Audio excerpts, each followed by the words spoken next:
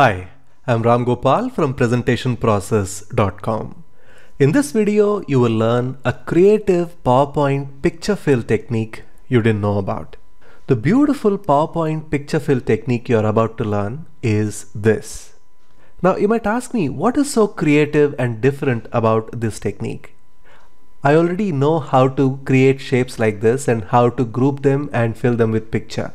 The difference is I've selected this group now I'm going to rotate the handle here. Take a look at this. The picture has remained in position. Now let me move this slightly to the side. Can you see this? That is the new technique that you're going to learn. The best part is this technique allows you to create groups with any shapes and then fill the group with any photo of your liking and adjust your design the way you want and ensure that your photo is positioned the way you want. Let me show you how easy it is to create this effect from scratch. Here I am on a new slide and this is the photo I am going to use for the demonstration purpose. First I am going to go to the Auto Shapes gallery and I'm going to pick up this rounded rectangle tool under the rectangles option. I'm going to click on it and I'm going to draw a rectangular shape like this and then I'm going to hold this yellow handle and move it to the center so that the edges can have full curvature.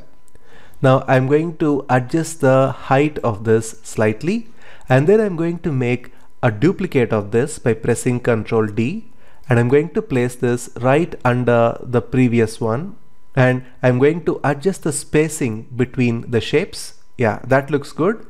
Now I'm going to press Ctrl D once again, another time another time. So now we have got a beautiful stack of these rounded rectangular shapes. Now let me select all of them and press Ctrl G and maybe if required I can make some final adjustments like say I can extend the length, I can reduce the height, I can do all kinds of adjustments till the time I'm happy with the end result. And once this is done, remember this is a group and when you fill this group with a picture you will have the picture shown across all these shapes. So I'm going to select this picture. I'm going to right click and say copy. Now that puts this picture in the clipboard of the computer.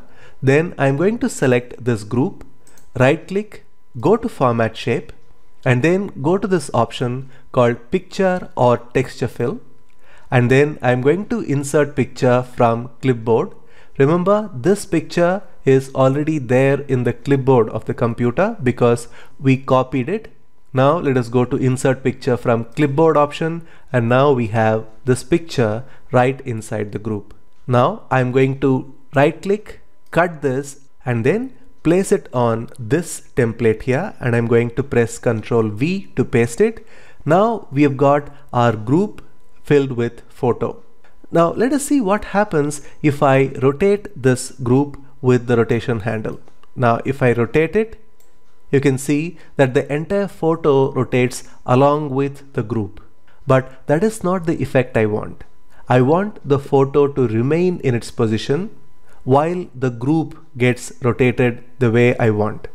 So how do I do that? Let me press Ctrl Z and keep it in position. Now if you see on the right hand side, there is one option called rotate with shape and it is by default checked. If I uncheck that and then when I rotate this, take a look at this. Now I have rotated it. You can see that the photo remains in its position while I can easily rotate this group and make the design I want with total freedom. Can you now see the potential of this idea? You can create a group by putting together any type of auto shapes, fill them with photo and then adjust the rotation so that you can give a unique angle to your design. Of course, the final touch is to give it a white outline so that the photo looks really surreal. And now we have a beautiful looking photo design that can captivate your audience. And by the way, we give away the templates for all these tutorials in Ramgopal's PowerPoint Mastery membership program.